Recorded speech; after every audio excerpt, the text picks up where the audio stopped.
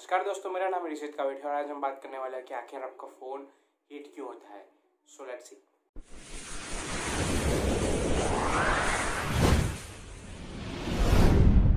तो दोस्तों, आपका फ़ोन हीट होने के दो मेन रीजंस हो सकते हैं। एक हो सकता है प्रोसेसर या जीपीयू की वजह से और दूसरा हो सकता है बैटरी की वजह से। तो दोस्तों, जैसे कि आपको पता है कि प्रोसेसर के अंदर बहुत सारे छोटे छोटे पार्टिकल्स होते हैं और उस पार्टिकल्स के अंदर बहुत सारे इलेक्ट्रॉन्स होते हैं। और जब आप कोई हैवी वर्क करते हैं अपने फ़ोन में फॉर एग्जांपल कि कोई हैवी गेम खेलते हैं तो प्रोसेसर के ऊपर बहुत सारा लोड आ जाता है। उसकी वजह से उसके अंदर जो इलेक्ट्रॉन्स है वो एक दूसरे से टकराने लगते हैं उसकी वजह से फ़ोन में हीट प्रोड्यूस होती है। लेकिन ये बहुत ही नॉर्मल चीज़ है। ये सिर्फ़ तभी होगा जब आप आपके फ़ोन को हैवी यूज़ करोगे।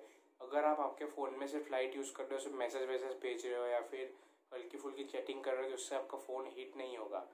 या तो आप कोई फो, वीडियो फोर में शूट कर रहे हो या फिर कोई हैवी गेम खेल रहे हो, या तो फिर आपने बहुत सारी एप्लीकेशन एक साथ में खोल के रखी है, एक ही साथ डाउनलोड भी कर रहे हो, एक साइड पे गेम भी चालू है हॉटस्पॉट भी चालू है ब्लूटूथ भी कनेक्टेड है आपका, इसकी वजह से आपका फ़ोन हीट हो सकता है। दूसरा दूसरा रीज़न है वो बैटरी बैटरी की वजह है हीट होने की कि आप ऐसी कोई ऐप यूज़ कर रहे हो जो आपका माइक्रोफोन भी यूज़ कर रही है, जो आपका कैमरा भी यूज़ कर रही है, जो आपकी लोकेशन भी यूज़ कर रही है। वो ऐप भले ही कोई हैवी काम नहीं कर रही, लेकिन वो बहुत सारी चीज़ें एक साथ यूज़ कर रही है, जिसकी वजह से आपकी बैटरी पर लोड बढ़ रहा है, आपकी बैटरी बहुत ज़्यादा ही तेज़ी से ड्रेन हो रही है। और क्योंकि आपकी बैटरी ज़्यादा तेज़ी से ड्रेन हो रही है, इसलिए वो हीट हो रही है। तो दोस्तों, अब सवाल यह आता है कि फ़ोन कब तक हीट होना चाहिए? मतलब कितने टेम्परेचर तक हीट होना चाहिए? तो दोस्तों, जब तक फ़ोन 50 टू 60 डिग्री टेम्परेचर तक हो, तब तक उसको नॉर्मल कह सकते हैं। लेकिन सिर्फ़ कभी कभी ना कि आपका फ़ोन हर बार 50 60 के अराउंड हो। और दोस्तों, एक इसका और एक बहुत बड़ा रीज़न भी है कि जो टेम्परेचर हमारे अराउंड होता है, जिस शहर में आप रहते हो, वहाँ का टेम्परेचर क्या है, आप कौन सी जगह पे फ़ोन को यूज़ कर रहे हो, वगैरह वगैरह।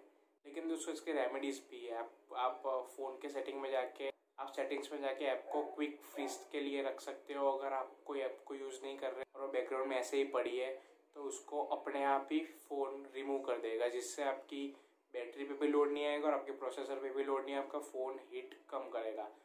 दोस्तों, दूसरा हमें देखने को मिलता है कि जब आप फ़ोन चार्जिंग में रखते हैं, तब भी तब भी आपका फ़ोन हीट होता है।